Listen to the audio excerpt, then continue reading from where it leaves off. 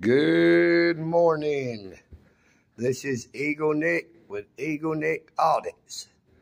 This is Saturday morning, February the 17th, 2024, and I am back at the post office, the United States Post Office in downtown Dalton, Georgia, to film this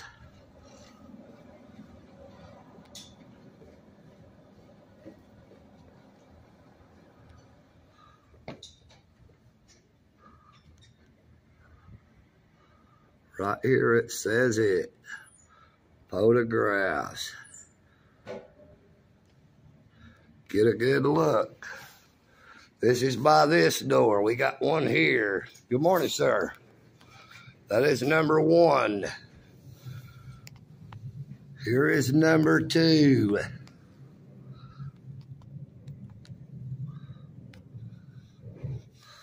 You see it? This is a smaller one, and they got it way down here at the bottom. But look, they've got it. You notice this one.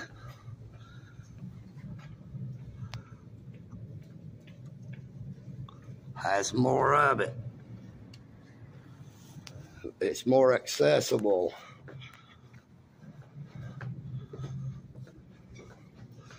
Going to find poster number seven, poster seven, number three.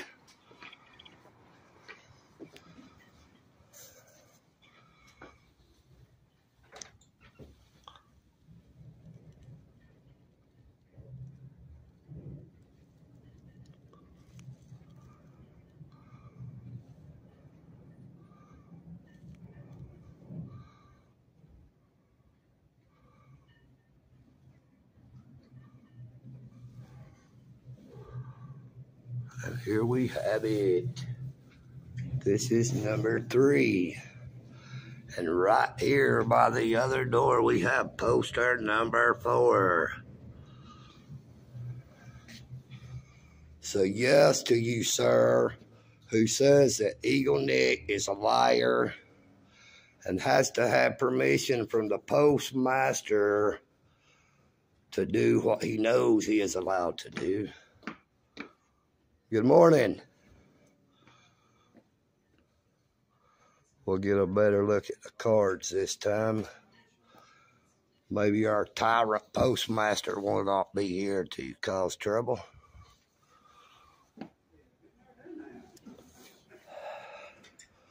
But you see the lobby is open and I could go in if I wanted to.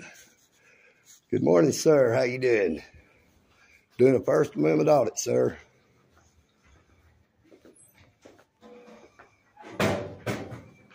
Um, that says self-service. And that fella said I have to have permission from the postmaster. Hmm, let me check.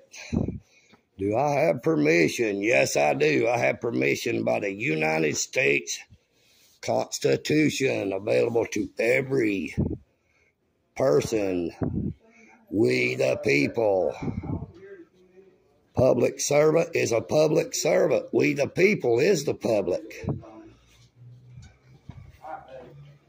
It starts at number one and goes way back. These are the inside drop boxes for when it is closed in the lobby and you don't want to leave it outside.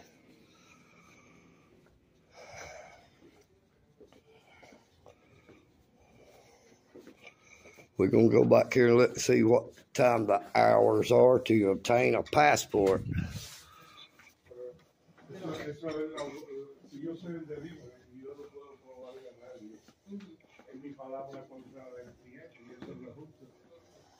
Yo se lo entregué ya a su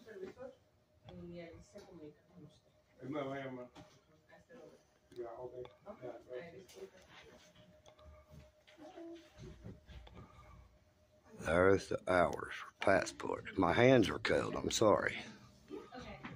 When I zoom, it does that crap.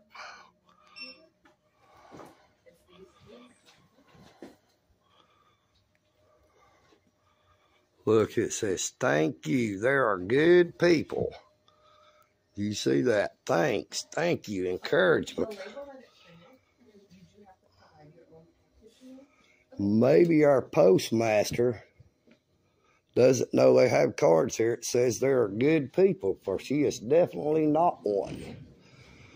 She is a certified tyrant who thinks that because she is the postmaster, that the word postmaster means that she is the master and we the people are the public are the servants the american people is not subservient to the government our government works for us. We do not work for them. Not until they declare martial law and then look out. President obama passed an executive order that gave the president the right to declare martial law in times of war and peace and or civil unrest. President Donald John Trump could have did that at any time during his presidency. So that was a executive order that was in effect. And he did not. And I'm sure he knew it was an executive order that was in effect. Those type of things is for the Democrats and by the Democrats. That's one thing you will not see in a casino is a clock. Good morning. How y'all doing? See these all these ladies are nice, the customers are nice. And that's how it is when our tyrant postmaster is not here to tell us that we cannot record. That way we do not have to have the Dalton City Police Department come up here and set them straight. And that is the best lady here that said she knowed. And ma'am, I would like to thank you personally. And I'd like to tell Why, you, you, why weren't you here yesterday? listen, ma'am, we the people. We the people. Look, I've had people telling me, oh, you can't do that. You got to have permission. Special permission from the post office uh, master. Ma'am, do I need permission from the postmaster? No, you do not. Did the uh, police, Dalton City police officer, set them straight and give them a free education from the public? I think so too. And ma'am, uh, we the people now know why you wouldn't speak up for us because you didn't want to lose your job. That's right. But guess what? We're going to change that. Because you know what? You said you know that poster seven, you know about it, you was aware about it, you think it should have been posted, but it wasn't, right?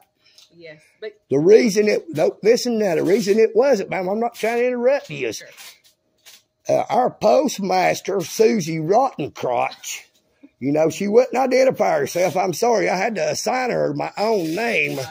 Uh, she knows that's her job.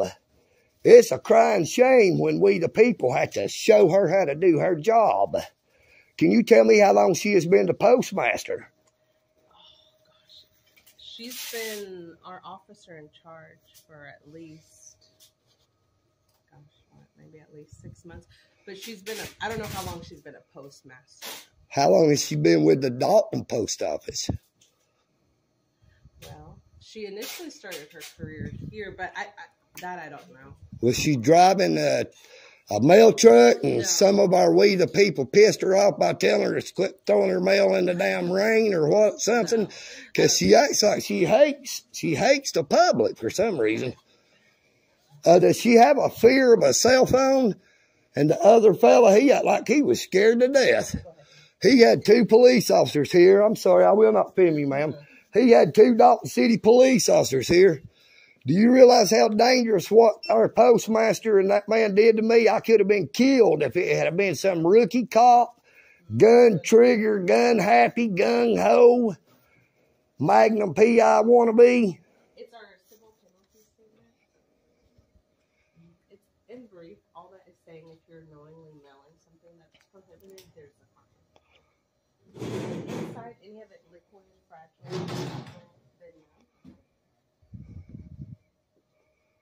So this is expected to And for you naysayer said that I can't do that, you heard the lady yourself.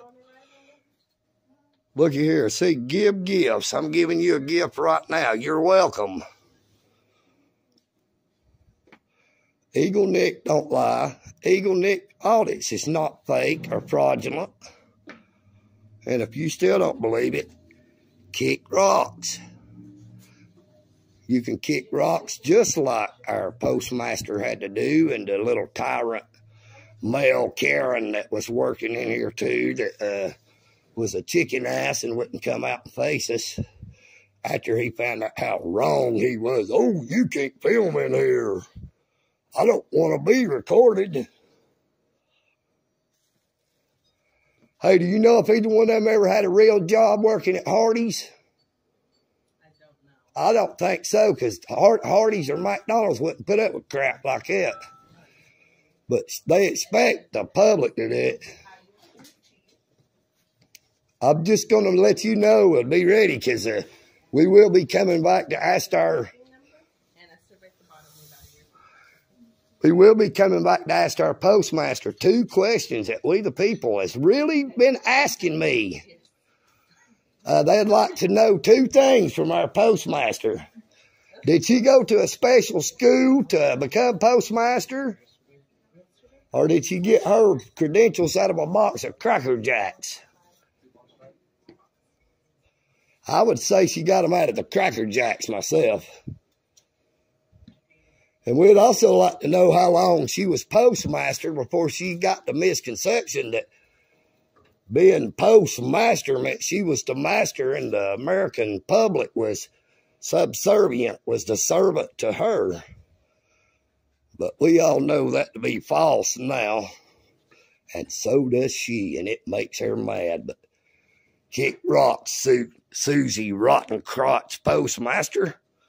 And that is why you should always identify yourself when you are asked by the public. It is required by law. You violated my constitutional rights. I will be back.